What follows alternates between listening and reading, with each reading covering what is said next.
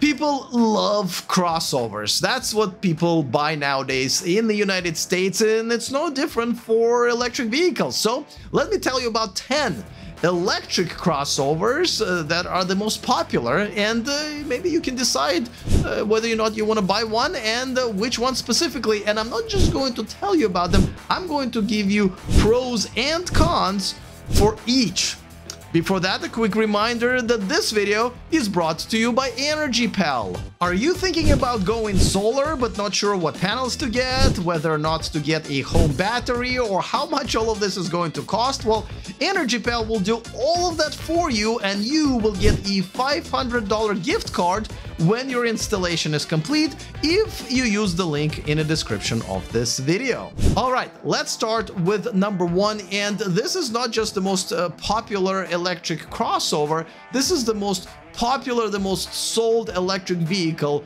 in the world? Well, let's be honest, if you're thinking about getting a Tesla Model Y, you probably saw one of your friends or neighbors drive one, watched one of the million of videos on YouTube from Tesla fans about how great it is, or Elon Musk told you to. I have some bad news for you. Uh, all of those are pretty much the worst possible sources to base your big decision on.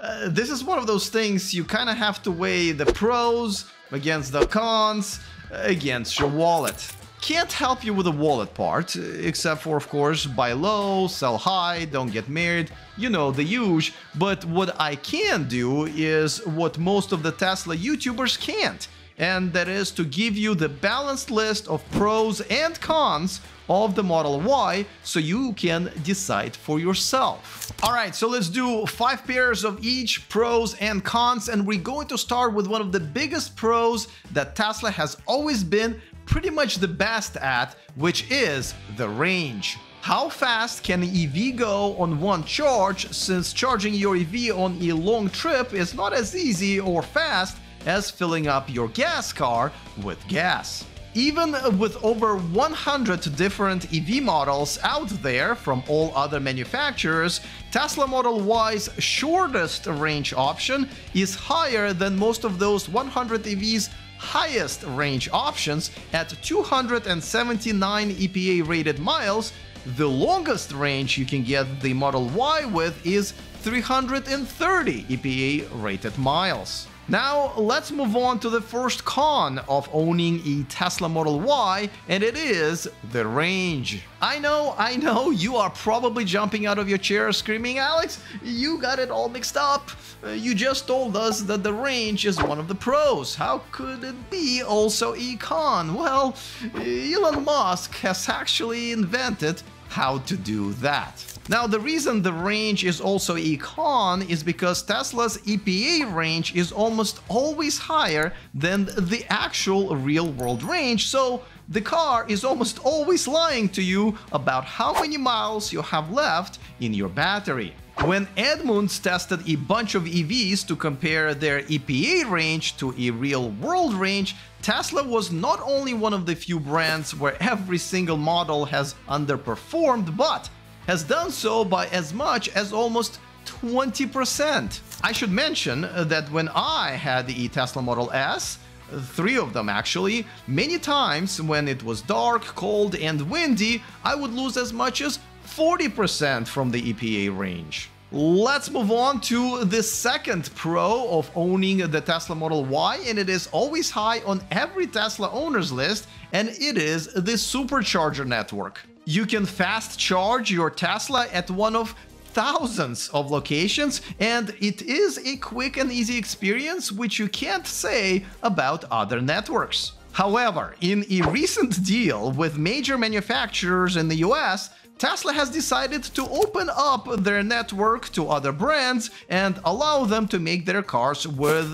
the same charging port, thus nullifying what most Tesla owners have always considered as their biggest advantage. But until that happens, the supercharger network will stay on the top of the pro list. Moving on. So this is a deal breaker for me in any car and Tesla is the only major US manufacturer that just doesn't have it. I'm talking about the Android Auto and Apple CarPlay. It is just not there. And unlike Twitter's blue checkmark, you can't just pay Elon Musk to have it. I don't know how about you, but when I get into my car, I want my entire universe to be connected to it immediately. The addresses where I'm going, my calendar, phone numbers, apps, voice assistant, my Tinder matches, everything. I honestly don't know why anybody wouldn't, and you can only do that with one of those two plugins the Pro number 3, and it is the Autopilot and the Full Self-Driving package. And I know all the Tesla fans are on their feet again yelling at the screen, Alex, but you have repeatedly, repeatedly said, and as a matter of fact, you just made yet another video about how the Tesla's full self-driving package is a scam. It is true. It is a scam if you sell it as a full self-driving package while lying about what it is and what it will become, you know, self-driving, while charging $15,000 for it, claiming it is an appreciating asset. So it is a scam, unless they have accidentally misspelled fool and then, uh, then it actually makes sense. But if you look at it as an advanced driver assistance system, it is by far the best. The con number three is pretty much the reason why I left Tesla brand after becoming one of the first Tesla Model S customers back in 2012 and then buying two more Teslas and it is their shitty, shitty, shitty customer service. And it's not even a secret. Tesla owners have been frustrated with it for years, and Tesla has just decided to do nothing about it. Complaints range from little to no return contact. Yes, they will literally ghost you like a Tinder date. Poor quality and expensive repairs, and long wait times, which of course drive insurance costs up. Tesla also doesn't have enough of qualified shops to repair their cars, with a shortage of parts and a poor part distribution system.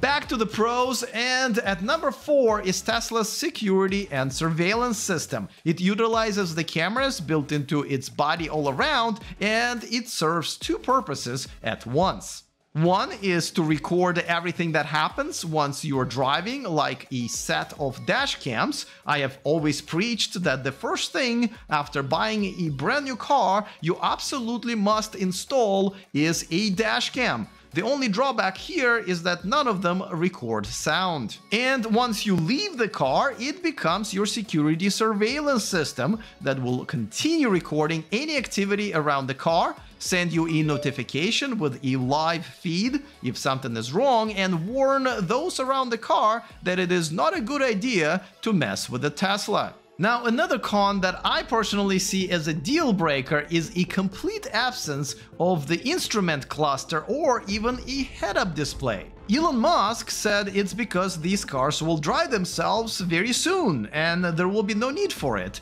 Funny he left the steering wheel in there, but the real reason for skipping it uh, was that Tesla simply wanted to save money and fatten up their profit margins. So all Model Y drivers have to look away from the main direction of the road to the center screen to find that information, which of course doesn't make things safer. And that's why Amazon and other online stores are full of Model Y instrument panel and head-up display add-ons. Now, the last pro I'm going to mention is the performance. Now, electric cars have always had a much better torque, and the fastest 0 to 60 cars in the world are now all electric.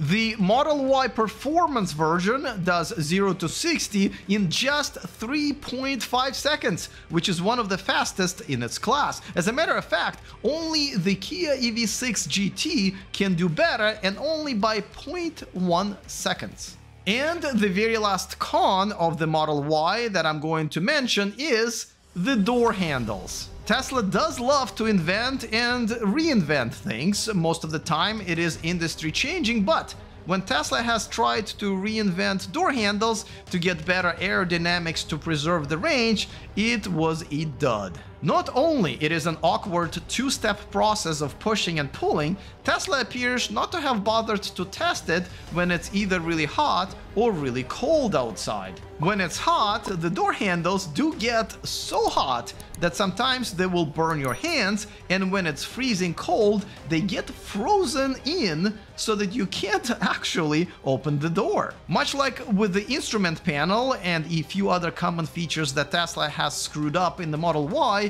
this has once again prompted the aftermarket to offer the solution. Alright, moving on to number two, and this is actually one of my favorites. The Mustang Mach-E starts at around $43,000 in the US, but prices for electric cars change all the time, so be aware of that. It is also a looker as far as I'm concerned and comes in a few gorgeous colors. It's been on sale for almost three years, so it is now a pretty solid EV. Over 20,000 of them were sold so far this year. Let's get to the Pro number one, and it is one of the most important specs of any electric car, which is the range. The top EPA range of the Mustang Mach-E is over 300 miles. There are some EVs that still have a range of closer to 100 miles, but the majority of them are in 200s now, with a few crossing the 300 mile threshold, and the Mustang Mach-E is one of them. Now, in order to get any range out of an electric car, you would have to, as your grandpa calls it, refuel it. Uh, but we now just say charge it. And that's where we come to the first con of the Mustang Mach-E, it is the DC fast charging rate. It is just 115 kilowatts at its max for the base model and 150 kilowatts for the extended range models. And even if we take the higher of the two, the 150 kilowatts, charging the Mustang Mach-E from 10 to 80% takes 45 minutes. Now that's uh, not good. It's definitely not a Mustang when it comes to charging, but more of a donkey. That's its top speed. Now, if you compare it to its biggest rival, the Tesla Model Y, with similar range, the Model Y can charge from 0 to 80% in just 15 minutes. Back to the Pro column, at number 2 we have the 0 to 60 performance. The GT version of the Mustang Mach-E does 0 to 60 in just 3.8 seconds. Now that's more Mustang-like. Its only other electric crossover rivals that can go faster are the Kia EV6 GT at 3.4 seconds and of course the Tesla Model Y performance at 3.5. Here's the con number 2 and it is the range upgrade price. See, the base price of the Mustang Mach-E is actually on par with the rest of its rivals. It starts at around $45,000 before the tax credit. But if you want to get an extended range, which is an extra 53 miles, you'll have to pay $7,000 for that. Way more than the competition offers for a similar upgrade. For example, Tesla charges less than $3,000 for almost an identical range upgrade in the Model Y of 51 miles. The pro number three is something that people love about electric cars, which is the frunk.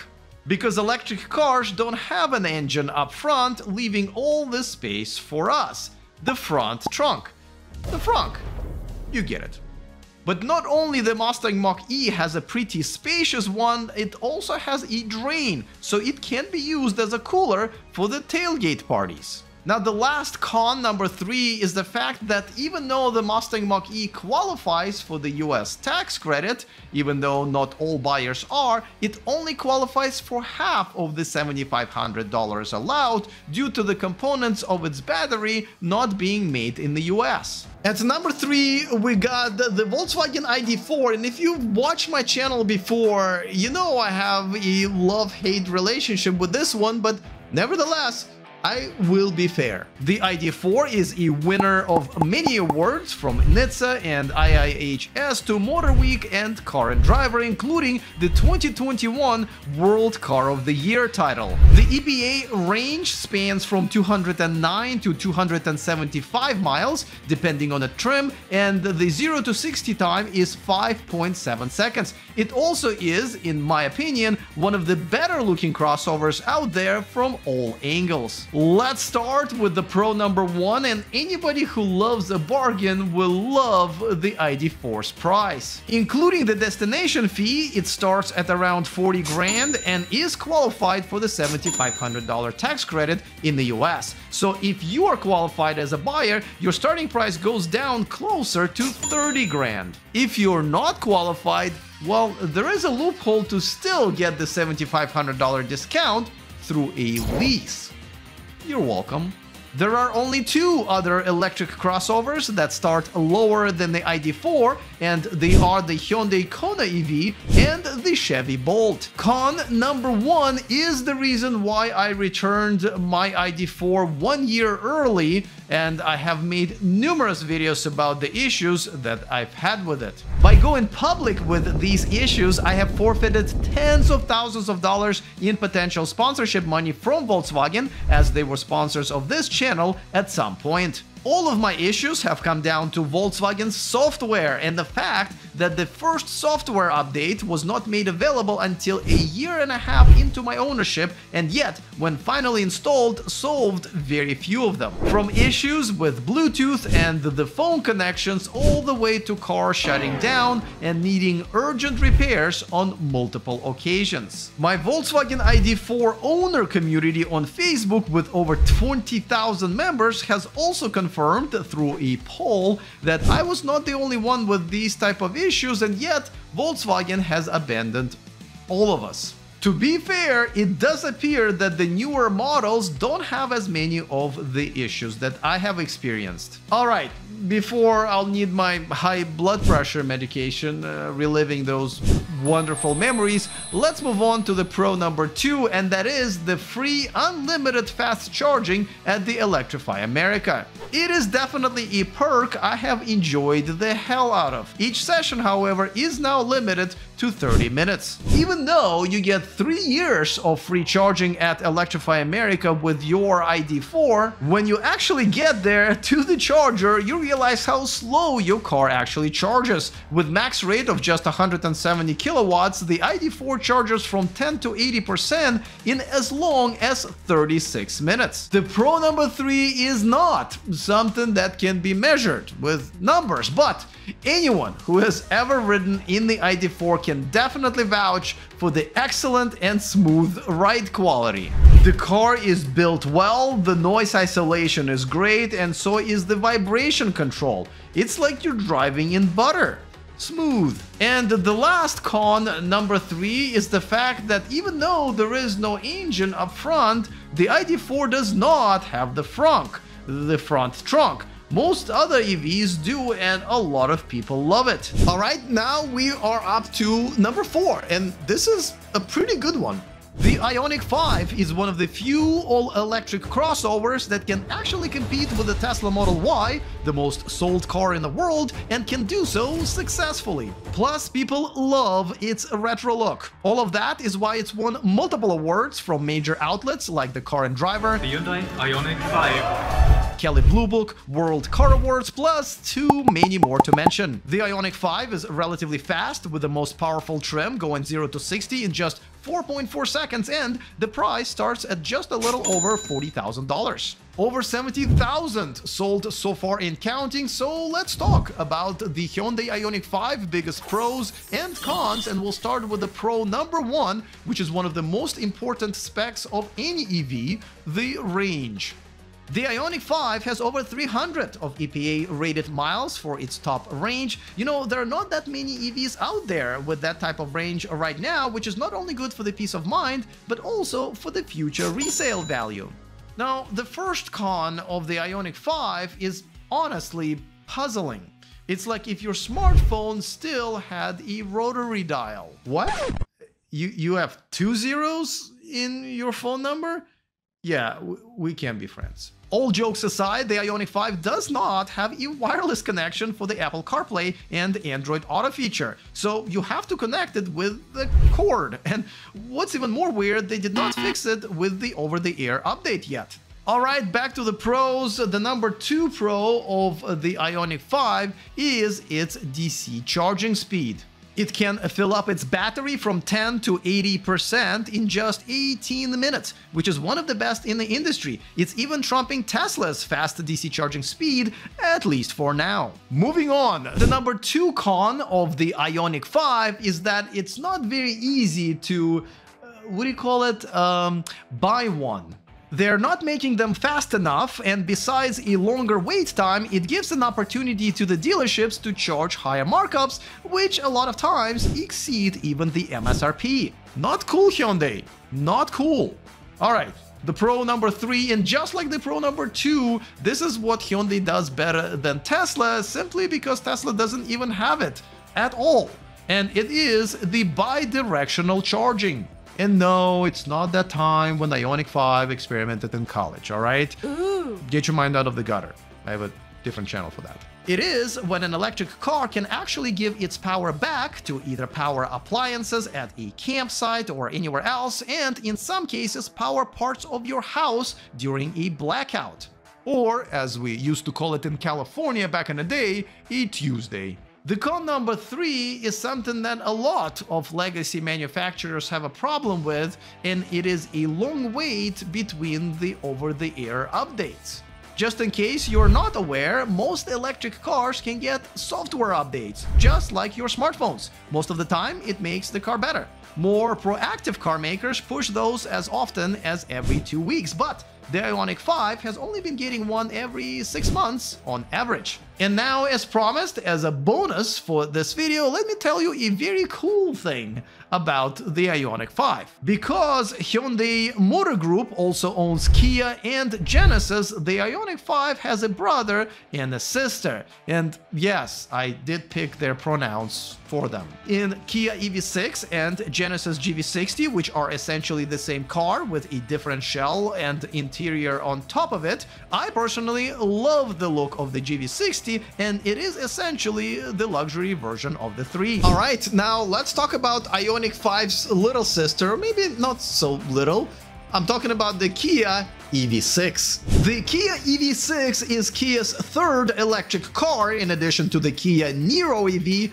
and the Kia Soul EV and has been on the road for a little over a year on pace to sell around 25,000 units in 2023. It has its share of trophies and awards including from the Motor Week, the Drive, Top Gear and the best cars of the year. The EV6 starts at around $44,000 but it is not qualified for the 75 $500 tax credit in the United States. Now let's get to the pros and cons and later in the video I will have a bonus pro for you that will surprisingly put the EV6 ahead of the Model Y in a very popular category. The pro number one is the range. The EV6 EPA range tops 300 miles, ranging from 232 to 310, depending on the trim. Only two other electric crossovers have a longer top range than the EV6, which are the Ford Mustang Mach-E and the Tesla Model Y.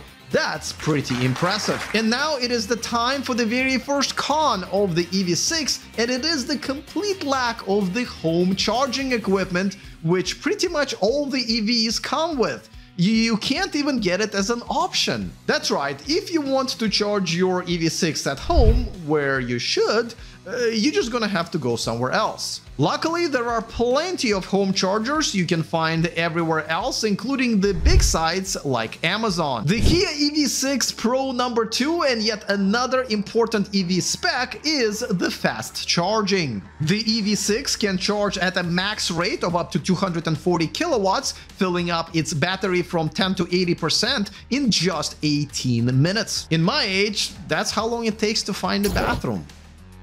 I, get lost easily. And as a perk, every new EV6 driver gets 1000 kilowatt hours of free fast charging from Electrify America, which should be good for anywhere from 3500 to 4000 miles within the first three years. Let's get to the con number two, and this is the reason why the EV6 was the only car ever that I have given back to the manufacturer way before my 7-day test drive was over while I was still back in the United States. Everything in this car is user unfriendly, from the almost a blank starting screen to a confusing uh, way to connect your phone or to run the interface. Uh, the climate and media controls are confusing and the charging port is in a bad location. And it's not just me, there are plenty of owners who have complained about those same things. The Pro number 3 is actually very cool. It is the V2L feature, which essentially means the car has electric outlets, which can power up whatever you want, including appliances like a fridge or even a TV set at your campsite or your home during a blackout. The con number 3 is EV6 very limited cargo space with only 50.2 cubic feet of it, which is in addition to a tiny 0.7 cubic feet frunk. My niece has a bigger lunchbox than that. and now, as promised, the bonus pro, which is the fact that EV6 is the fastest electric crossover on the market when it comes to 0 to 60 acceleration at just 3.4 seconds, even beating out the Tesla Model Y performance version, which is impressive. Alright, so the next one is a Toyota, and a lot of people uh, have been waiting for a Toyota electric vehicle. However, what they got uh, was not exactly what I think most of us expected from Toyota. This is Toyota's essentially first long-awaited EV launched in May of 2022, but did Toyota do enough to compete with the most popular EV in the world, the Tesla Model Y? Well, let's take a look. Now, usually this is the part of the video where I list the awards earned by the EV that I'm talking about but this is the first time I'm reviewing a car that has none. Toyota also doesn't report individual model sales, so it's impossible to tell how well it is selling. So with that out of the way, let's get to the very first pro, which is the price. The BZ4X starts at around 43 grand, which makes it one of the most affordable electric crossovers on the US market, behind only the Hyundai Kona EV and the Hyundai Ioniq 5, Volkswagen ID4 and the Kia Niro EV. Though it should be mentioned that the BZ4X is not qualified for the $7,500 US tax credit for now. Let's get to the first con, and it is the second most important number behind the price for any EV, and it is the range. The BZ4X's EPA range spans from 242 to 252 miles, depending on the trim. Most of the popular electric crossovers, however, have the range way above 250 miles, and many have now crossed the 300 mile mark. Now, I should also mention that for some odd reason, the BZ4X's European range numbers, done in the WLTP standard, vary drastically from country to country. For example, in Germany, it's listed at 514 kilometers, where in the UK, even the best option is only at 436. So the fun pro number two for the BZ4X is the fact that it is the friendliest EV I've ever seen if you have a pet. Look at all of these accessories and add-ons that you get for your dog or a cat or a pet snake if that's what you're into. Back to the cons and the second con for the BZ4X is that it hardly has any driver assist features that we didn't have 20 years ago. Obviously, Tesla has the best one on the market with its autopilot that comes free by the way, but many others also have something to offer. Ford's Blue Cruise, Nissan's Pro Pilot Assist 2.0, and GM's Super Cruise to name a few. So someone tell Toyota that adaptive cruise control is no longer going to cut it. Switching back to the Pro column, the Pro number 3 is something that Toyota, much like uh, many other large legacy automakers, have on younger or smaller companies like Tesla, Rivian, Polestar, Jaguar, etc. And it is an abundance of service centers. Just in the US, Toyota has about 2,500 of their own, plus thousands of independent shops all over the place. Now let's get to the con number three, and it is a quite pathetic 0 to 60 mile an hour time. The best number listed for the BZ4X is 6.5 seconds. Now, two more random things to add about the car. One of them being the DC fast charging rate, filling up the battery from 10 to 80% in about 30 minutes, which also comes with a perk of a one year free unlimited charging at all EVgo charging locations. And lastly, I gotta mention that even though the BZ4X has only one NHTSA recall, it is the most embarrassing of them all. Toyota had to recall all of the units last year due to a danger of, and I kid you not, the wheels falling off. Nissan was one of the very first car makers to put out an electric car in the Nissan Leaf, but it took them over a decade to come up with the second one. So let's talk about the Nissan Ariya. Now I know what you're thinking, hey Nissan, where the hell have you been for like a dozen of years since your very first electric car, the Nissan Leaf, back in 2010? That's before Tesla's first real electric car. You must have been cooking something very delicious in this new Ariya thingy must be really, really amazing. Now, before we even go to the pros and cons and you can judge for yourself, I gotta say that I've done quite a few of these pros and cons videos, and this set of pros and cons uh, for this particular EV is the closest that I've ever seen, which on one hand means that there's nothing extremely exciting and nothing extremely devastating about this car, but if you want a very normal electric crossover where you don't have to learn how to use a car again, like with Tesla, for example, and you don't want to deal with a lot of problems, you want a real Nissan, you know what? This one could just be the best choice for you. The Ariya has been on the market for not even a year yet. They've sold over 10,000 of them, which is Nothing to write home about, but it also means the production is ramping up. It starts at around $45,000, caps out at 70, the best 0 to 60, which I still don't understand why people care about 0 to 60 of a crossover, but nevertheless, here it is, 4.8 seconds. The worst one is actually not that far off from that at 5.1 seconds. Okay, let's get to the pro number one, and it is the design. This is a very good looking EV. Well, actually, it's a very good looking crossover EV or gas inside or out. Lots of very futuristic, very slick lines, including a lot of interesting choices like these buttons that light up through the wooden trim. Uh, when I saw it for the first time in person in Madrid when I test drove it, I gotta tell you, I, have never seen anything like this in any other prototype even, much less a production car. So I was very, very impressed. The only thing I gotta say is I wish they had more color choices. But as I visited Tokyo, Japan a couple of weeks ago, I, you know, everything is kind of a shade of gray over there. Somehow Japanese just do not like color, so I, I, I can see those color choices are not very exciting. But of course, you can wrap it and have it in any shade of green, yellow, or pink that you want. Then you know which one I'm going with. Okay, so the con number one is the fact that Ariya does not qualify for the federal tax credit in the US at all.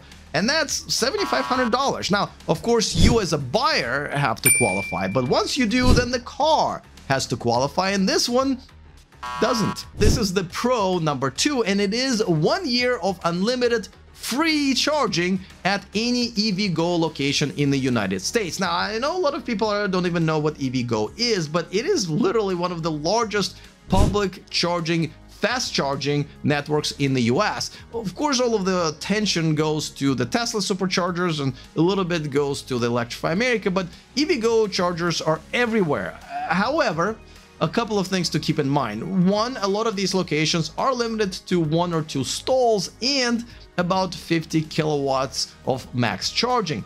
They are upgrading these locations all the time, but nevertheless. Uh, however, like I mentioned, it is free. Now let's talk about the con number two, and it has to do also with fast charging because it's freaking slow.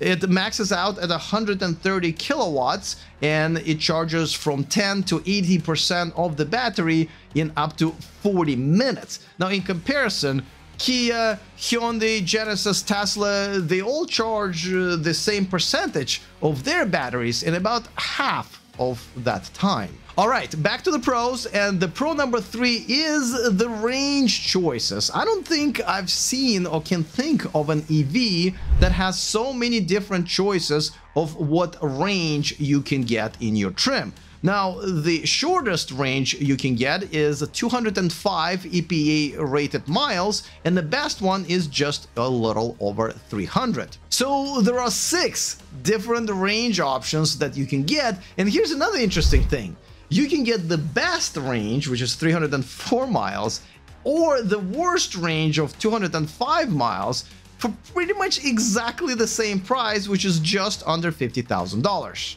Now, before you even ask, obviously the one with the 205 mile range has almost everything else better than the one with the 304 mile range, including the performance, but my point is, you got choices. A lot of them. The con number three is the fact that Ariya does not have e frunk. Now, if you don't know what the frunk is, it is the front trunk, the trunk and the front. When two words love each other very, very much, uh, they have a little beep. Now, some people don't really care for the frunk, but it is the most secure place in the car, in any car, to keep your valuables. As a matter of fact, a lot of thieves don't even know that the frunk exists in really any car, but specifically in your car. So if you, let's say, live in Oakland, California, where I used to live before I moved to uh, Thailand, that is a very important thing. Yeah, that's my car, and it's actually one of three times that it happened while I lived in Oakland, California for, what, less than a year? So great job, guys, for defunding the police in like the highest crime city in California. Thanks. The next one is the EV, which I did not expect to be this popular. So let's talk about the Polestar 2. Now, if you've never heard of Polestar, uh, we can still be friends. But it was originally a race car mod brand and when purchased by Volvo 8 years ago would simply enhance Volvo vehicles. But Two years later, it became a standalone EV brand. The Polestar 2 is the brand's first all-electric car, already earning several awards from Autotrader, in addition to being named the Car of the Year by Business Insider back in 2020. And ever since its first launch, it's been pretty popular. So far, over 100,000 Polestar 2s have found their homes, with almost 30,000 just in the first half of this year. Its best 0 to 60 time is 5.9 seconds. The max DC fast charging speed is 250 kilowatts, filling up the battery from 10 to 80% in about half an hour. With the basic specs out of the way, uh, let's get to the very first pro, and it's a big one. The Polestar 2 has one of the best EPA range numbers among all electric crossovers with 320 miles of range. It's only bested by the Tesla Model Y at 330. But now here comes the con number one, and please, before I tell you what it is, remove your financial advisor from the room because it is the price. The Polestar 2 starts at a little over 50 grand, which is definitely up there, and it is not qualified for the $7,500 tax credit in the United States. The only other electric crossovers with an even higher starting price are from Polestar's parent company Volvo, plus Mercedes-Benz, Genesis and Jaguar. Back to the pros, and this one, this one can't really be measured with numbers like the rest of them, uh, kind of how I feel about the color pink. Much like its parent company Volvo, Polestar's build quality is one of the best out there and one of the reasons why,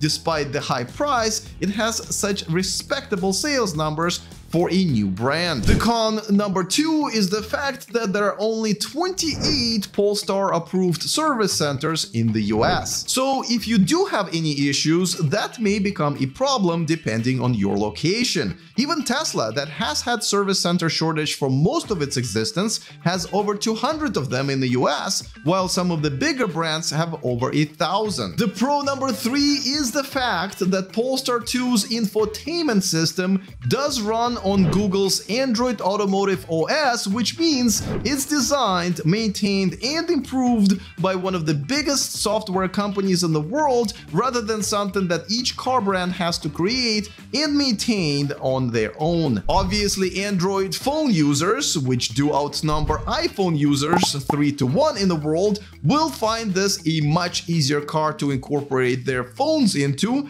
including the Google Assistant, Google Maps, and a wider choice of voice commands, including Google Home remote operations. The con number 3 has to do with the car's frunk, the front trunk, which many electric cars have as a secure storage for their customer belongings. However, the Polestar 2 has a tiny frunk at only 1.4 cubic feet. For comparison, the Tesla Model Y's frunk is three times bigger. Polestar's parent company, Volvo, is right behind them with their version of an electric crossover, the C40 Recharge. And I gotta say, I really like uh, the way this one looks. This is Volvo's third electric car besides its spin-off brand Polestar that also has its own EV, the Polestar 2. The Volvo C40 Recharge has been on the market for a couple of years now and so far Volvo has sold over 45,000 of them. The C40 Recharge has earned the Newsweek Autos Editor's Pick Award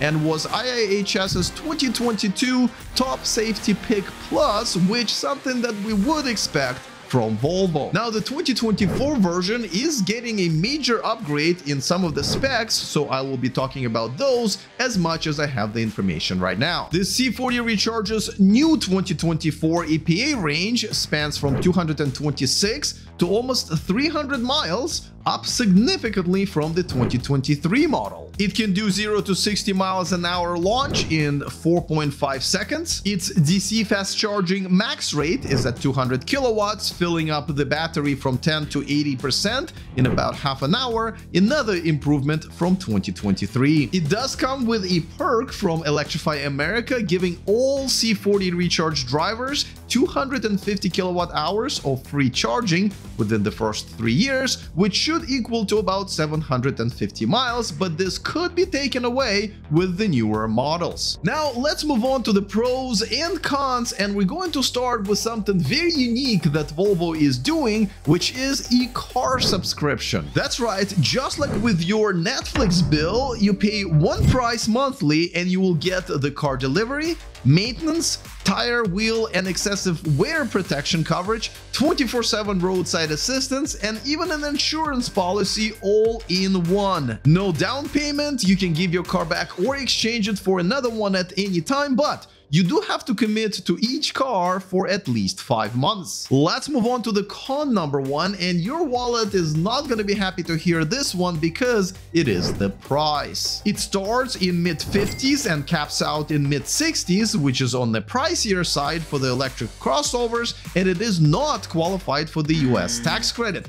That makes it the second most expensive electric crossover in the US, behind only the Jaguar I-Pace at around 73 grand. Back to the pros, and this one can't really be measured with numbers, but it is very important to a lot of people. Volvo's build quality is one of the best out there, and that's actually one of many reasons why people pay top dollars to drive a Volvo. Con number two, and it is the tiny 9-inch infotainment display. 10 years ago, ago, it would not even be a thing to talk about, but most electric cars, following Tesla's example, do feature a relatively large center display, usually at least 12 inches or above. The pro number 3 is the fact that C40 Recharge's infotainment system runs on Google's Android Automotive OS, which means it's designed, maintained, and improved by one of the biggest software companies in the world, rather than something that each brand has to create and maintain on their own. Obviously, it is an even better deal if you're an Android user rather than an iPhone user. The con number three could be a deal breaker for those who plan on hosting adult rear passengers on a regular basis. So listen up,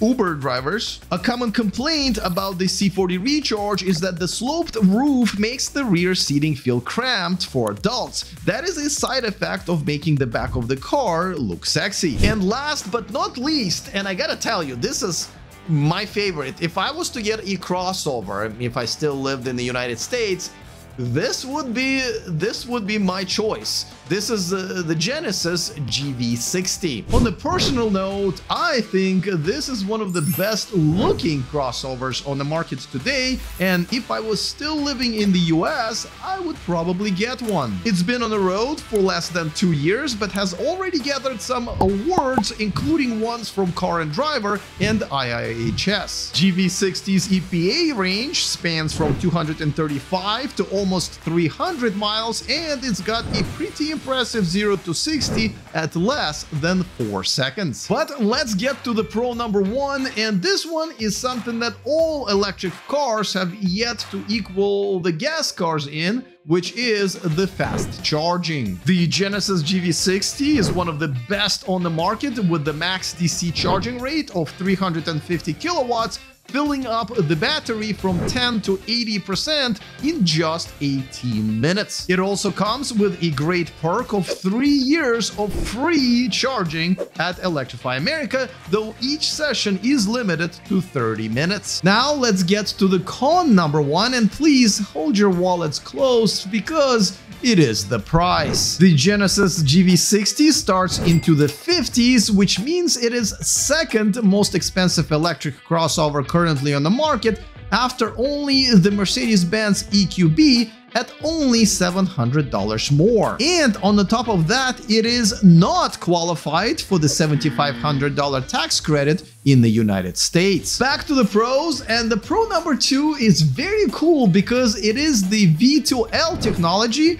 that allows GV60 drivers to plug their appliances right into the car. Whether you're camping and you want to watch some TV or you don't want your ice cream to go bad in your fridge during a blackout. Con number two is kind of stuck in 2015 when automakers would produce compliance EVs. And even though the GV60 is not one, it surely is acting like it as it is only being sold in less than half of the states in the US. Granted, the other half are not exactly the states going crazy for EVs, uh, but still. Back to the pros again, and the pro number three is really cool because the GV60 has biometrics built into the car. It recognizes the driver's face to unlock the car and load personalized profile, including adjusting the head-up display, the seats, the steering wheel, the mirrors, and the infotainment settings. And then you can use your fingerprint to authorize in-car payments and even start it without a key.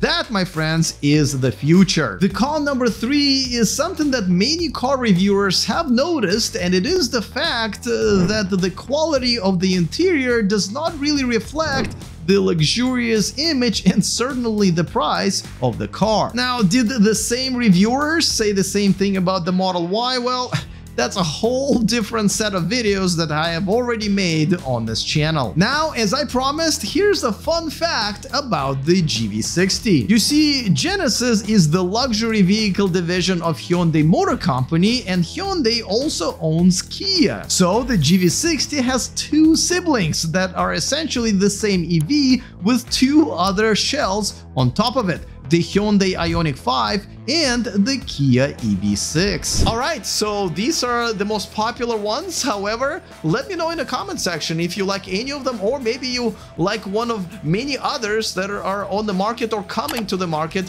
this and next year. Man, I am so excited that we're even talking about all of these choices because only a few years ago, none of this really existed. So, looking forward to all of your comments. Other than that, see you guys next time and remember to stay charged.